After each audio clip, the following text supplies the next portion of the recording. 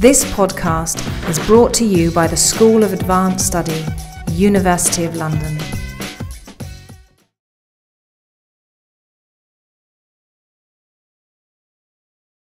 Um, I'm here with my son, Ruben Martin. Um, I'm a writer, I'm an artist, I am a cultural activist as well. Um, with this slot, I'm kind of engaging with the performance archives of Pa Orlando Martins, because that's how he's fondly known and in Nigeria. He was born in Lagos, for those who don't know, in either 1899 or 1895, according to the naval records I found in Southampton. He was an actor, a culture pioneer of international standing in the early 20th century. Has anyone actually heard of Orlando Martins? Of course, most of you haven't. and that's what my, our endeavours are. Um, I'm related to him through my late father.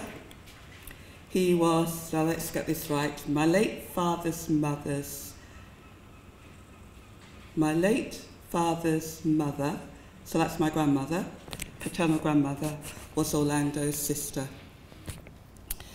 Um, you can Google him, but some background information, as most of you don't know him. He was born at 22 Okosuna Street, Lagos Island. His parents, Emmanuel Akinola Martins, and that's what was his birth name, and Madam Paula Edowa Soares. He was the only son, having five older sisters, of an elite Brazilian Victorian returning family. I never knew my grandmother, nor Orlando. So part of this journey is with archives is to find out more about my own Lagosian heritage. It is a work in progress. Um, we, I was recently privileged in funding a trip by the British Council um, with my son um, to do some groundwork to raise a play and an international project. I'll talk about that some more really. Um, most of my background information in working on this project for two years has come from a book that was written two years before he died. He died in 18, 1985, sorry, in Lagos, where he was born. Takiu Folami wrote a book two years before he was born, sorry, uh, called Orlando the Legend. And in it, he says that unlike ourselves in connection with our African ancestry, Orlando knew his paternal grandfather, who was a woodseller, who lived to 120 years, and he was a freed Portuguese slave who would tell the great grandchildren, including Orlando, about his days of slavery. Papai was very humorous. humorous. We used to tease him, smoking brown paper bags and messing around with his tortoises. If he got hold of any of us, he would give us a taste of his whip, which he fondly called palmatória, which is a Portuguese word um, for whip. His father was a colonial administrator in the Marine Department, a path Orlando did not wish to follow.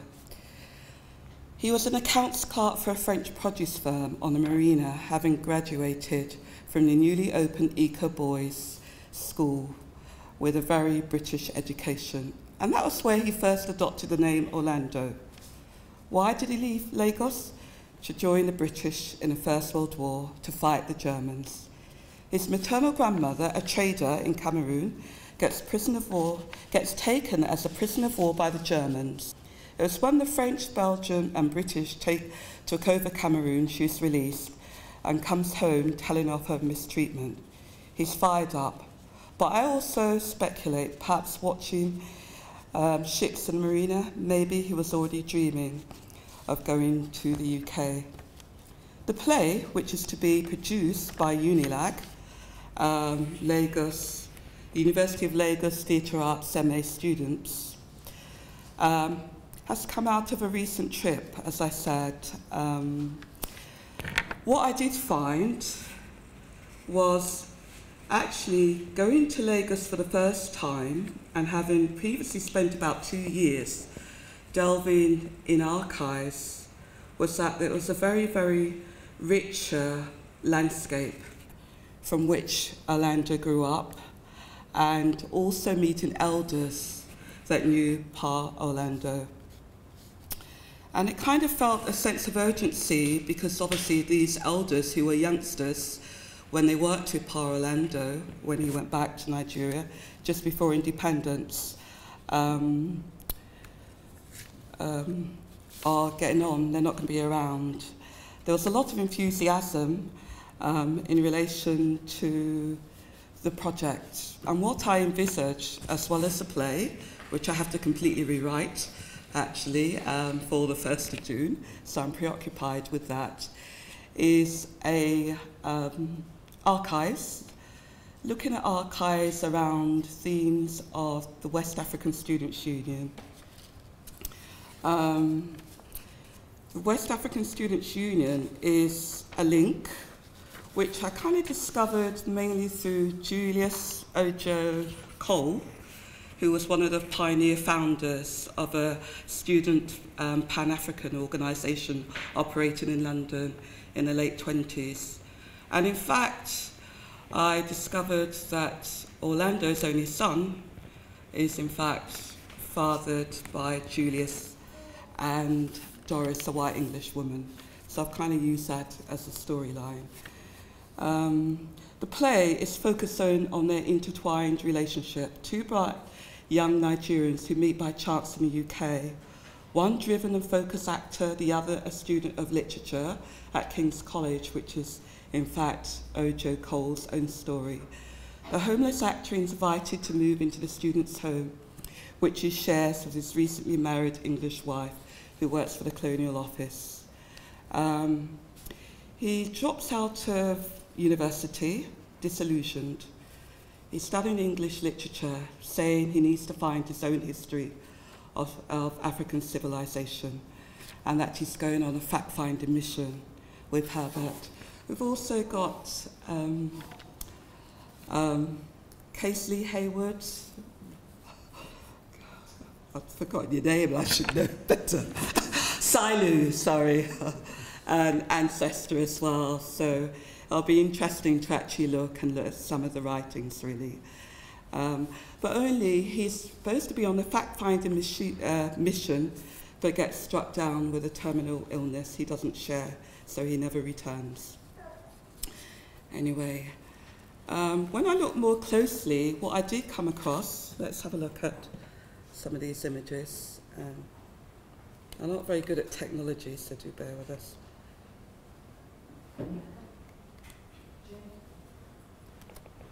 Has that come up?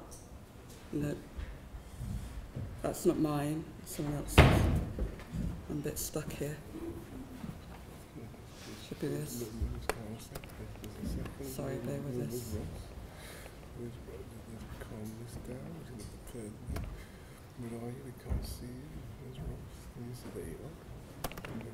Oh, there we are. Come on, let's make it big. Keep talking. There we go. Let's play it. Sorry, I should have started with this, really. Um, okay. What I did discover, um, apart from about 30 films in which he's playing a colonial native, with the theatre archives, something else is, is um, something, it's a different picture. He gets real parts, speaking parts, and what, a funeral brochure. Let's have a look. These are some of the elders that we met. This is Chief Gadama Mosi, who's a playwright and also said that he was, um, what was he? He was encouraged by Orlando actually visiting and seeing his plays in Lagos. This is another elder who worked with Orlando when he returned to, to, to Lagos and worked for the Western TV service. Um, Oba Hibiat Sanagu, yes. And what he did give us was this um, this is at the Institute of African Studies. A brochure. a memorial brochure. Orlando had a formidable, formidable funeral service, and within that, actually detailed a lot of the plays that he, he did do. Um, he received the highest theatre award um, in 1983, a member of the Order of Niger by the Nigerian president, and a National Award in Theatre Arts ceremony at the University of Calabar by the Society of Nigerian Artists. Um, in looking at the funeral program, which I did have a chance to scan, what we did notice was that the reviews of his plays came from a whole range of places Trinidad, Nigeria Journals, US Crisis by uh, Nancy Cunard, and East Africa as well as West African journals of performances. And what I speculated, there were obviously links to actually have that publicity that you could only dream of for plays. Um, as a writer myself, I was kind of thinking there's obviously some kind of movement going on. If we look at the late 20s, um, it's a time of upheaval, an economic depression. Um, people are really quite um, an economic depression, high unemployment, and a rising communism. And it is actually the communists who are quite active in the workers' theatre movement. And this is where Orlando actually gets roles in plays. Um, there's two plays, Stevedore, by someone called um, André van Gyseghem, and he actually is the director of Unity. Unity is a workers' theatre movement, and there is a quote, let's see if I can find it, by Dame Sybil Thorndike. Theatre is for the alive, that they may have more life, for the tired who want spiritual or mental jerking, jerking up, or a glimpse of a larger being. Now let's look around and see what our theatre gives us. Unity, which came out of the workers' theatres movement, was unashamedly socialist. They want to build a theatres a workers' people's theatre built to serve and dramatise the lives and struggles of, of ordinary workers. Um, there were 250 branches, um, and the plays that Orlando got parts in was Stevedore, which is headed up by uh, Paul Robeson, and They Shall Not Die, which highlighted the Scottsboro Boys. He was to do a later play in 1957, um, with, I'm trying to think who was it, it was directed by Peter Brook and written by Sartre, um, The Respectable Prostitute. Um, let's try to see if I can move this. This is the, sorry, let's go back, okay. This is the part of the theatre programme that it had for his wake. And as you can see, it's really, really extensive. It would have gone on all night, um, after the minute silence at midnight, a whole range of performances. It was amazing that we actually met. One of the lecturers at Unilag said I was there as a youngster, age 15, and contributed to his performance.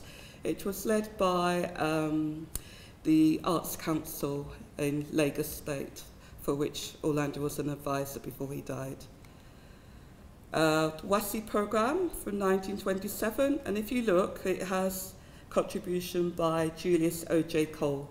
So the storyline is actually taken directly from the archives using his direct writings. Um, I have to go home to affirm myself. I'm a human being from a world civilization, and I need to be true to my own nature. I do not need to imitate the British. Showboat, actually, if we're kind of looking at his performance record, it starts in 1922 in a circus, um, riding an elephant with a red velvet robe with a spot of clowning. The elephant has actually got a sponge and he kind of washes Orlando's face. In 1928, the Diaghilev Ballet with Anna Pavlov, London, one of the three roles of the Nubian slave. I hated the part, Orlando says. In 1928, which we have here, Showboat, Drury Lane, with Paul Robeson. Only Orlando leads a rebellion. I led a rebellion of black artists who refused to sing the song of the chorus and the famous Old Man River song. I'm sure people here, the older ones of us, would know it really. The line that says, if you kind of look online, um, it's actually changed in the earlier version on Tube to Darkies, was actually niggers all work on the Mississippi. Um, we were hungry. We had to sing the nigger song or be sacked and black faces employed. They sang the song alongside black faces. In a review, it does say Mr. Robeson's melancholy song about the old river is one of the two chief hits of the evening um, of a rather heavyweight entertainment contemporary report. I think one of the clips, um, I'll put it on there. It's there. Um, I don't know if I can try and link it so you can hear. Uh, another film that he did, he did about 30 films. Invariably, he's holding a spear and it's a colonial kind of backdrop coming out of the colonial unit. One of them, uh, Sanders of the Rivers, which he did again with Paul Robeson in 1935, has a, if I can get it playing, a, oh no, it's not going to work.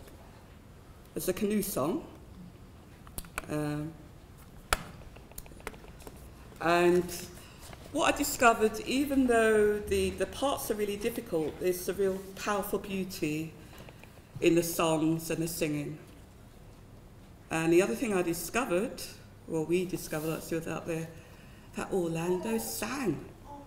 I didn't actually manage to hear a recording. I'll just do a little clip of it. Thank you, James.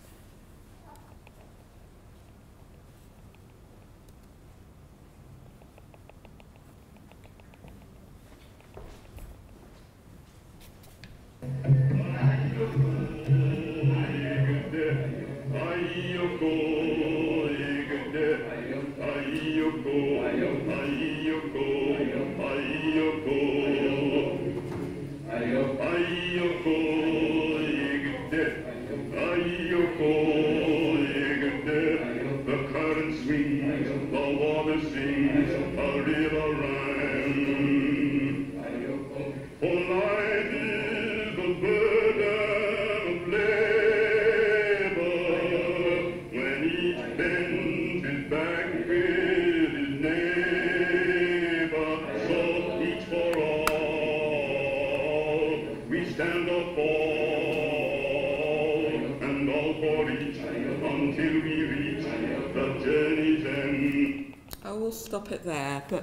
you can kind of see it's the music. Apparently, Orlando did actually sing on that, I was kind of told, and wasn't credited. He wasn't credited with a lot of, um, particularly the films roles that he played.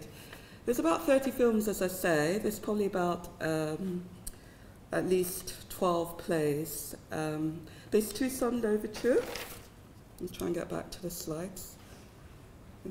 I'm not very good at this. Did I get out? Sorry, you're going to have to stand by us and help us. Um, which C.L.R. James wrote. Um.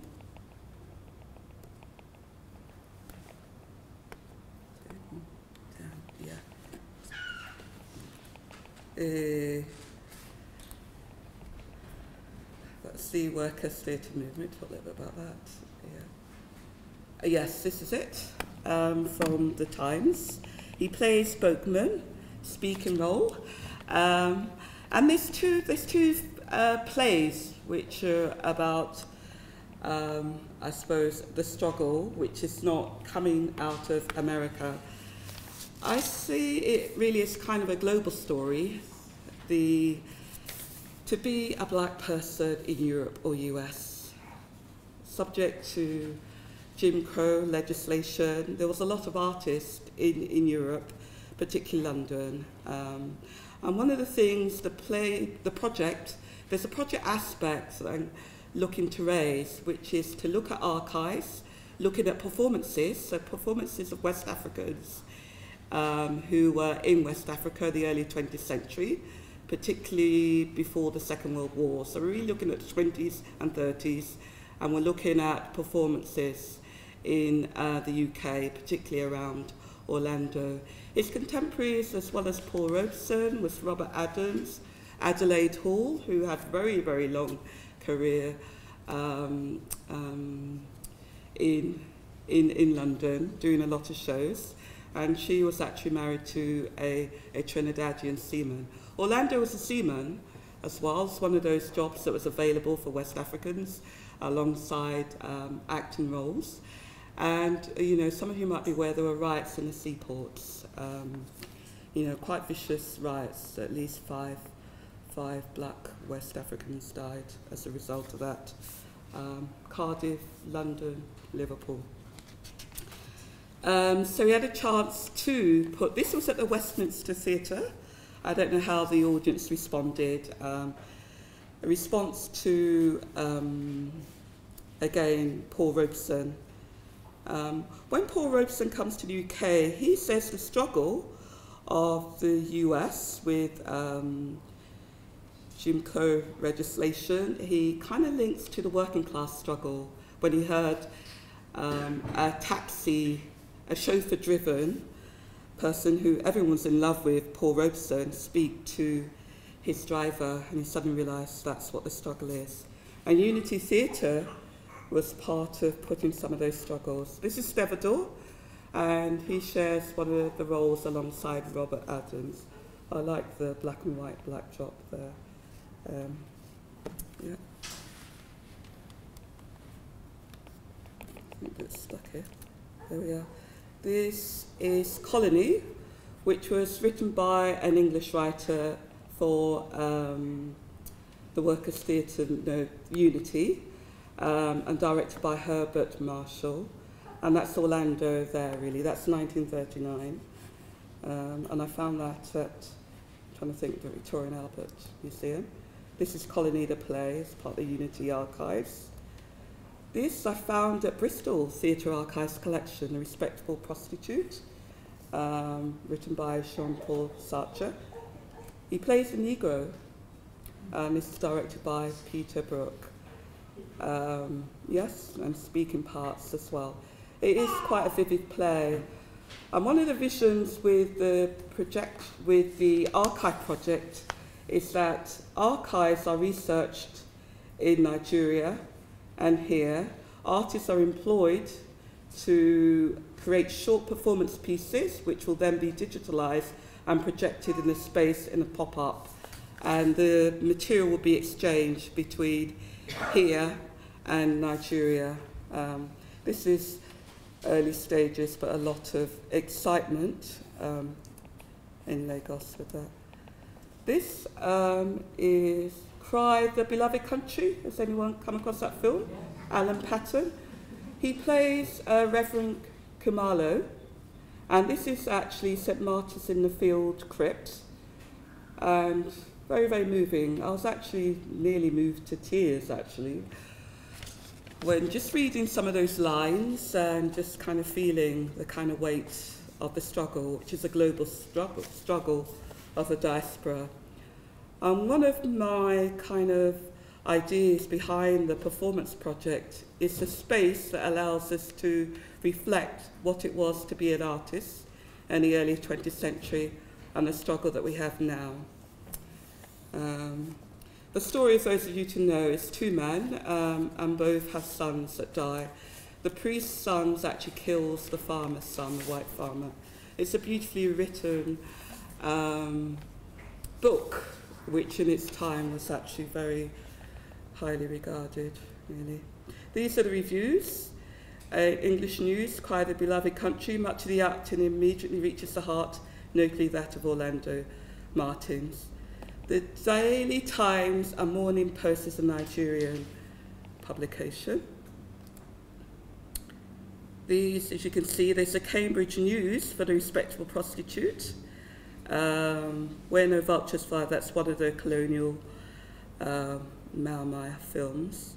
And The Hasty Heart was both a play at the Aldwych Theatre in 1945 that became a film, from which he became quite well known. He doesn't speak a single word, but steals the show. Um, and as you can see, East African Standard and Trinidad.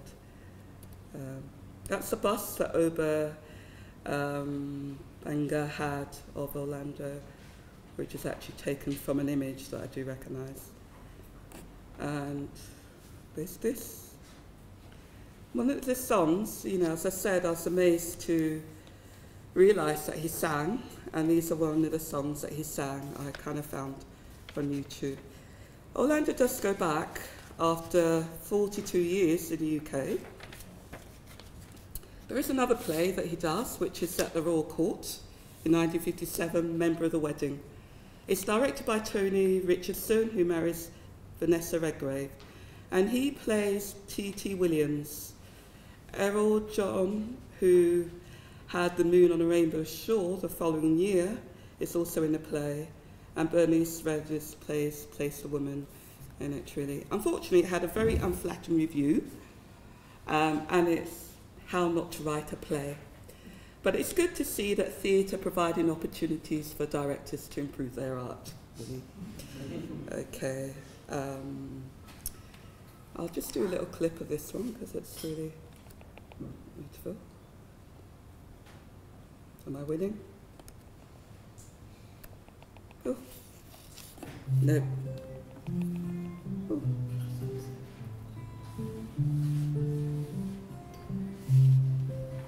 Èkó akéde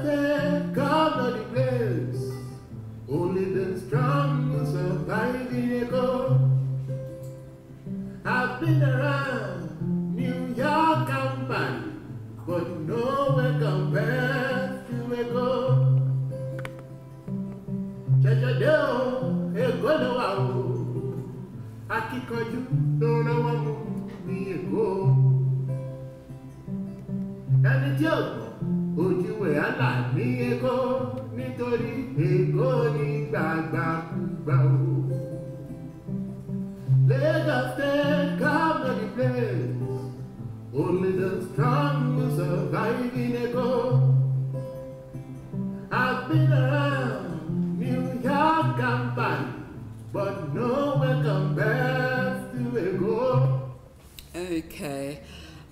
The song he sang. It's a traditional kind of celebration of Lagos when he returns home. He had singing lessons. Um, he had um, Amanda Aldridge, who's the daughter of Ira Aldridge, who also taught um, Robeson and Marian Anderson. Anyone heard of her? Yes, that's good. Same voice coach, really. Um, yes, so it's amazing to actually discover him as uh, uh, someone who sang, because in some ways it's kind of opened up and appreciated the artist as quite someone very, very diverse, but also a connection through music. And certainly um, being in Lagos, music was quite a significant experience. So just to sound up, let's can we go back to the slides really. I'm terrible at this, aren't I? Sorry.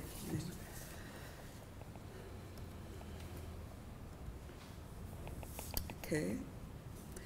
These are quotes, Orlando. You really get a sense of him as a person. A true actor has to dream beyond the imagination. You die if you worry, you die if you don't, so why worry at all? a hungry man is like a beggar without a choice. You have to smile, otherwise the face you show the wall, world becomes ugly. He had an amazing sense of humour, and obviously it took him a long way. He was very, very good at networking as well. So in summing up, what am I learning? I'm learning about myself. I'm thinking and reviewing my practice as a theatre maker.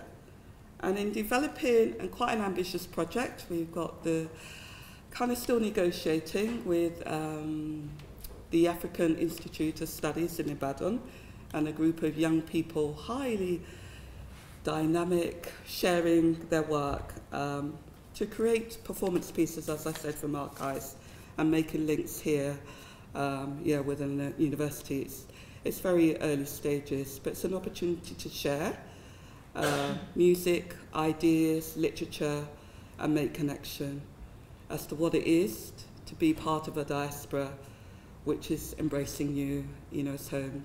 The welcome home was formidable. Um, we really could not appreciate the amount of welcome home.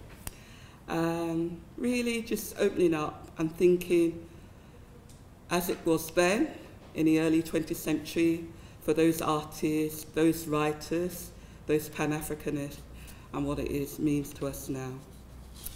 Okay. Can I say I'm also going to be working, I hope I'll be, get a bit better at this, doing um, a talk, actually, Song, Struggle and Resistance at the Victoria and Albert Museum on the 21st of April. It's one of their art and existence talk and looking at the artists um, in the early 20th century. Um, I think that's it really.